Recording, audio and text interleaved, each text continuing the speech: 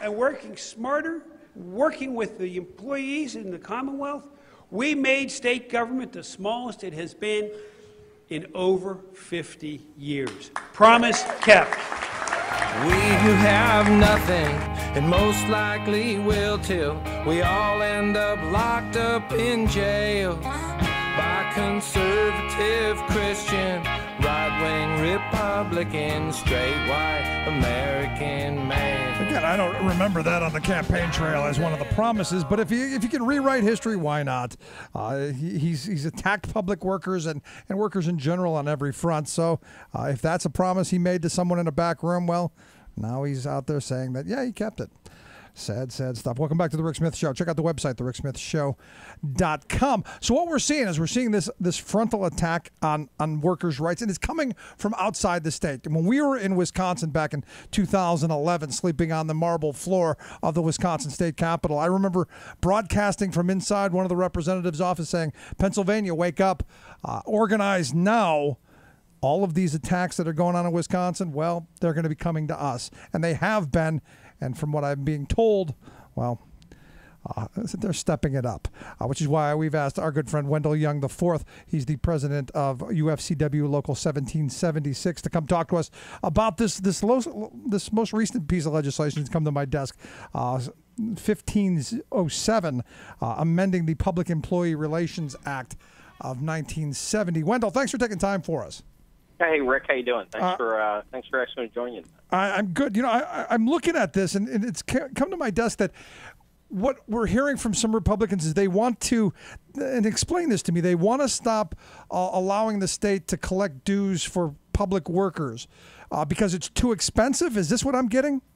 Well, that, that's the uh, uh, one of the things that the uh, wing nuts talk about is that the uh, the state shouldn't have to put the cost to deduct the uh, uh, union members' dues of public employees and forward it to the union. They shouldn't be acting as a collection agent for the union. It's very deceptive to refer to it that way. Um, you know, the state of Pennsylvania, uh, the, the municipalities in Pennsylvania, the school districts, everybody is uh, well into the current century in terms of payroll administration. They have automated payroll systems. Uh, many of them are just exactly like um, you know ADP, Paychex, companies like that. They have some of them have their own systems, some have uh, systems they're using. Uh, uh, but either way, it's automated. And automated payroll systems all across this country in public and private sector allow people uh, so many deduction slots. Um, you know, if you want to deduct for United Way, if you want to uh, uh, deduct for a bank or a credit union. Um, so having a deduction spot there for your union dues is also part of it. So it's built into the platform. The platform accommodates a whole bunch of deduction slots. It doesn't cost the state or the city or the school district any more money to do that. And what unions here in Pennsylvania do is, as part of the collective bargaining process, uh, say uh, just like the health care deductions or the pension deductions. You know, the, the state also deducts for the you know employees' pension contribution, Right. the portion they pay in their health care. So just like that, the unions negotiate that the payroll deduction can also be made for union dues. Yeah, So, Um, so if you know, having and So myself, there's no. What my point is, Rick. There's there's no expense. There's no economic burden on the taxpayers, on the state, or anybody else. So then the question that I have then, if if it's not what they're telling me, because they're telling me it's just it's just too much money, it's, it's so expensive. If it's if it's not that, uh, then you know you go back to you know Roman times and Cicero, Quo Bono, you know who benefits from from doing this. If it's not about saving the taxpayers money, then who's it really benefiting? Well, the the the wingnuts, uh, led by uh, Daryl Metcalfe out in the western part of the state, are upset that they have not gotten their agenda through. Uh, and and who is it that they believe is blocking their agenda? Well, the labor movement, in a very organized fashion, has done a great job bringing to light the problems with the ultra conservative wingnut agenda. And they're pissed off that they're not getting their way on everything they want to do. So what do you do? You defund and silence the people who are crying foul and calling you on the carpet to be accountable for what you're trying to do. So that's all they're trying to do is to silence workers, silence their unions by defunding them. They know that if they can get some of these measures passed that would prohibit, uh, uh, you know, the state or the municipalities or the school districts, any public uh, entities, uh, from uh, entering into agreements to deduct those dues, that it will reduce the funding to the unions and therefore make it harder for the unions to be a voice on behalf of working families and show these uh, these people for what they really are ultra conservative wingnuts that are out to do the work of the corporations of the uh, uh, conservative groups like the Commonwealth Foundation or the Koch brothers and and folks of that ilk. And that's all this is about. That's all this is about So when we when we talk to people, because look, I mean, it, it sounds like an issue that you you know most people gloss over. It's it's in the weeds.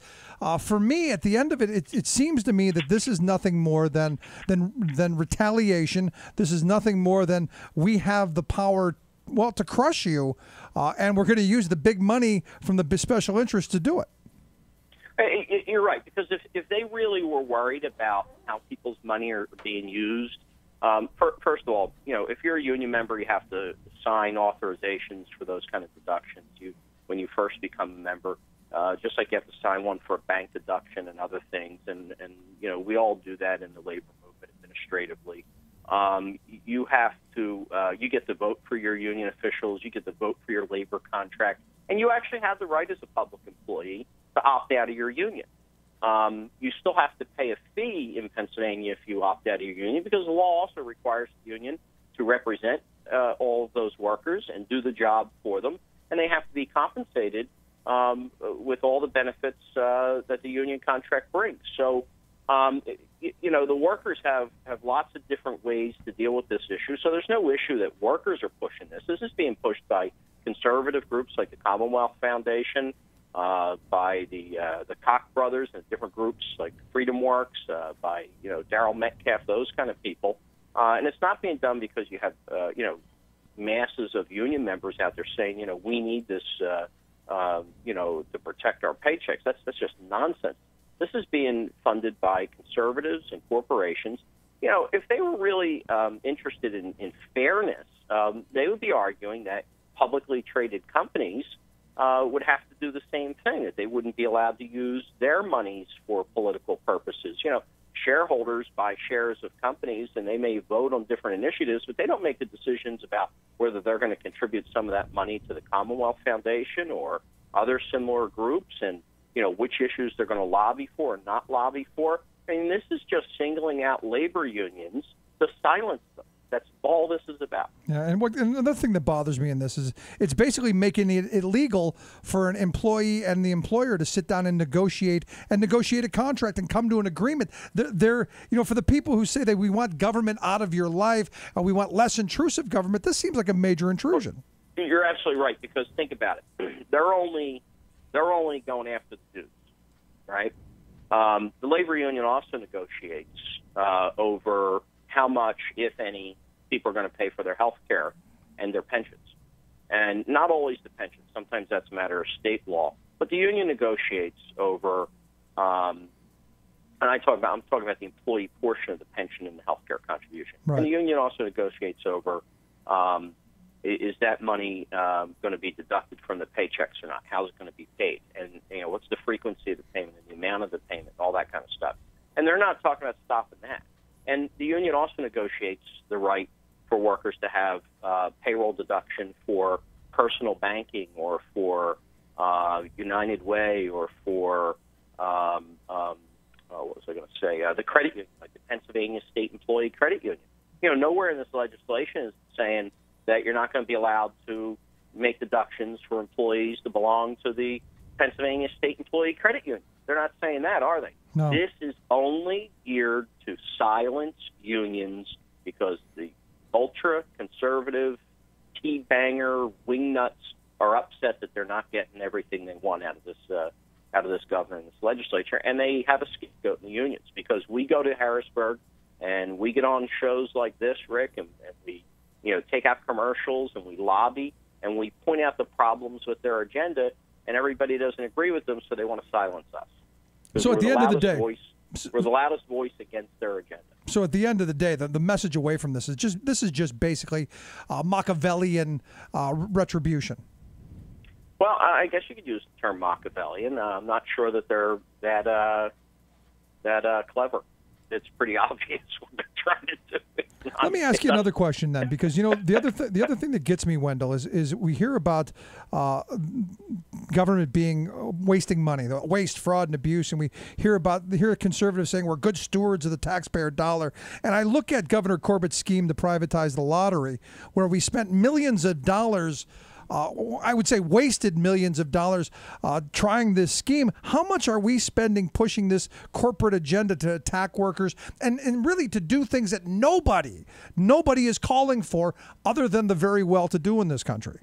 Well, it, you know, it, you raise a great point. Um, I don't recall what the price tag's up to now. The state paid. Uh, I, I think just the legal fees alone are close to 50 million on the lottery deal. Uh, I'm sure there's a whole lot of other expenses. You know, there's a, a, an expense in having all these administrative staff people.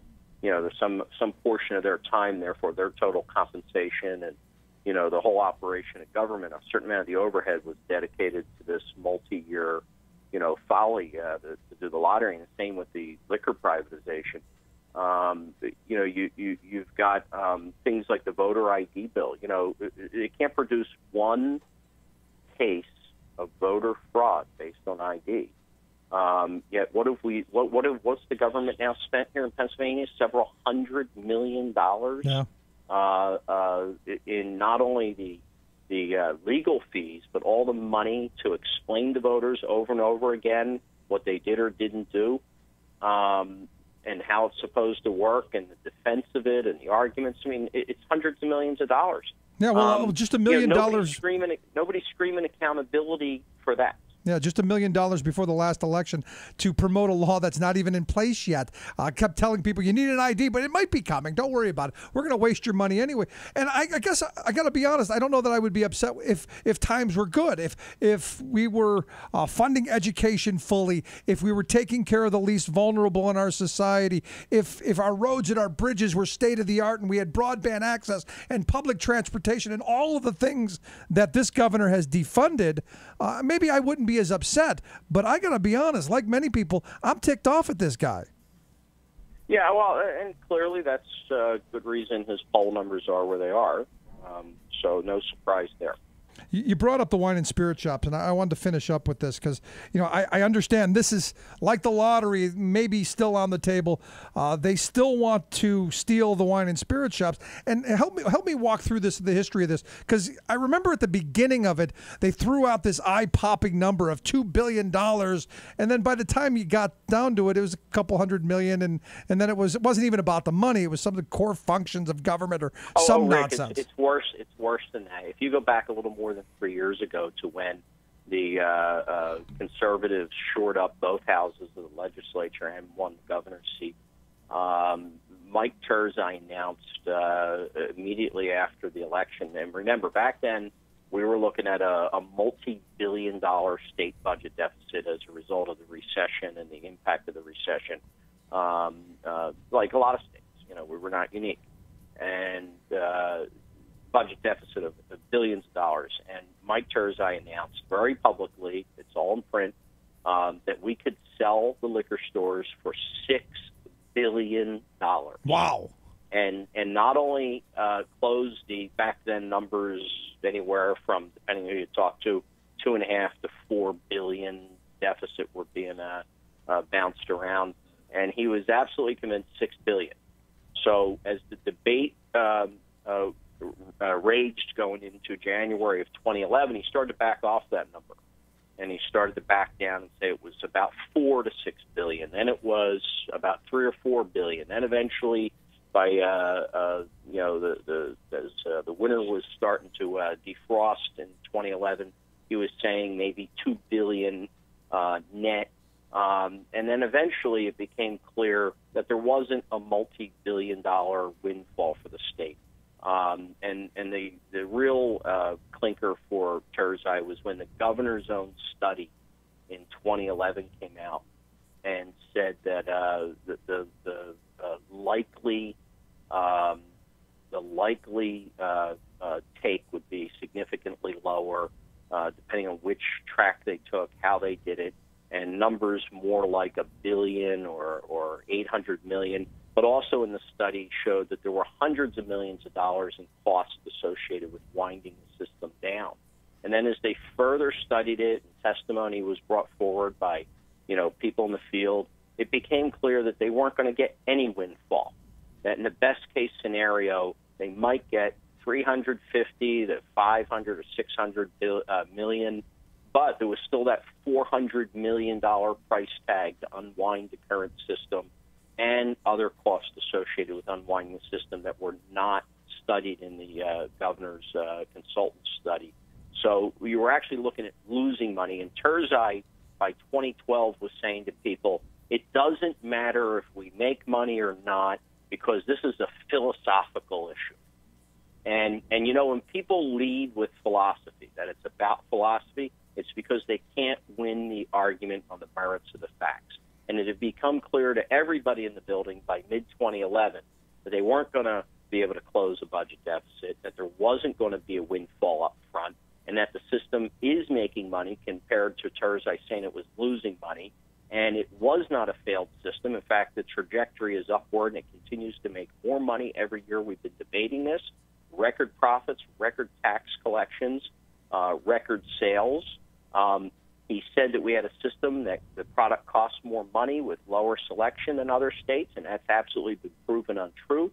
That we have better pricing than every one of our border states and better selection. The only exception is the state of Delaware, and all consumer goods in Delaware are cheaper than Pennsylvania and will be if you were to privatize liquor still because they don't tax consumer goods in on in Delaware on anything. Right. So whether it's electronics or liquor or anything else, there's no taxes, and unless Pennsylvania is going to eliminate all the taxes on liquor, we'll never beat Delaware. And and once you know, we've been very vocal about this, and we have spent a lot of money on this, and it ties back to what I said earlier about trying to defund us. If you go to the Commonwealth Foundation's website right now, um, I, I guess I should be flattered. Uh, uh, they have a video about this paycheck protection, as they call paycheck protection, we call paycheck deception. They have a video, and I'm the main villain in their video. Why is that? Because my members have chosen to fight. My members have chosen to take a stand, and they and, and you know, with with the people I work with on behalf of those members, and with those members, we've spent a lot of time in Harrisburg uh, fighting this privatization, showing the flaws in Mike Turzai's uh, comments and the governor's comments, showing that the system actually makes money, great selection, lower prices, uh, good jobs, doesn't tax, it doesn't cause taxpayers to pay anything. It actually makes money for the taxpayers, and they're pissed off about that. So they want to silence us, and they want to do it by taking away the money that we use to expose their lies. So what do we do to stop this? I mean, I, I, outside of election time, uh, throwing the bums out, what do we do? Well, um, that, you know, you're right. We have to throw them out. We have a, a great opportunity to get rid of the wing nuts, and, and you know, I, I'm not going to suggest that you know you just got to you know elect all Democrats and get rid of all Republicans. But in this case, we definitely need a Democratic governor. There is no options on the Republican side because there's too many weenies out there that won't take on Corbett, even though they don't like themselves. Um, out of party loyalty, we've got a great field of Democratic candidates for governor. The good thing is there's a lot of really good people, which means we'll have a great discussion and conversation about you know the issues that are important to working families. But the problem is there's a lot of Democrats in the field, and that's going to use up a lot of resources trying to decide which one of those will survive and uh, make it through the primary. Uh, they're all good people, though. Uh, I have a great deal of respect for all of them. Our union has endorsed Rob McCord. Um, you know, we're uh, certainly going to do everything we can to, uh, to advance his campaign. I think you get a, a good governor in there, uh, uh, in this case, a Democrat, uh, to bring a, a reasoned conversation back to Harrisburg. And you also have half the Senate up for reelection and the entire House. And I think you have to look at the wingnuts the people who are responsible for the paralysis in, in government in terms of the legislative process the, are the same kind of people that are causing the same problem in other states and Washington D.C. And you got to get rid of them. Yeah, the Stephen um, Blooms of the world, the the Cutlers, the uh, the Metcalfes. you, you got to get rid of the extremists in, on the on the right, and, um, and so that people, you know, there are there are reasonable people in both parties that would like to see some good things done. Would have liked to avoid wasting the time on this lottery folly, on the liquor folly. You know, there's there's great things that the legislature could do to allow the, the Pennsylvania Liquor Control Board to do a better job. You know, the, if you listen to Mike Turzai, what he doesn't like about the Pennsylvania Liquor Board, Liquor Control Board, he's responsible for. You know, as the leader of the House, Yeah. he's been blocking the legislative effort, efforts that would that would bring changes to the law that would allow the liquor stores to be more consumer responsive. He won't do it.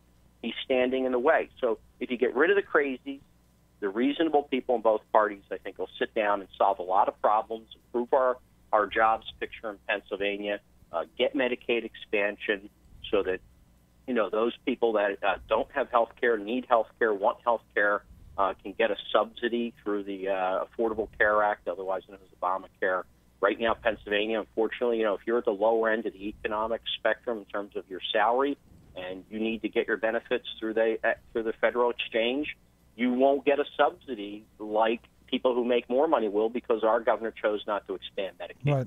You know, we need to get rid of the crazies, and that starts with Corbett and a, and a handful of those others. That starts right at the top. Wendell Young, it's always great having you on the program. I appreciate you taking time for us. Thanks, Rick. Thanks for inviting. me. Thanks so much. Quick break. Right back with your thoughts. 1 520 Rick. 1 520 7425. What do you think of all this? Right back. USA is drowning in crafted lies. Save the USA and resume the ties. Stop taking all our money and shipping it offshore. Do the job,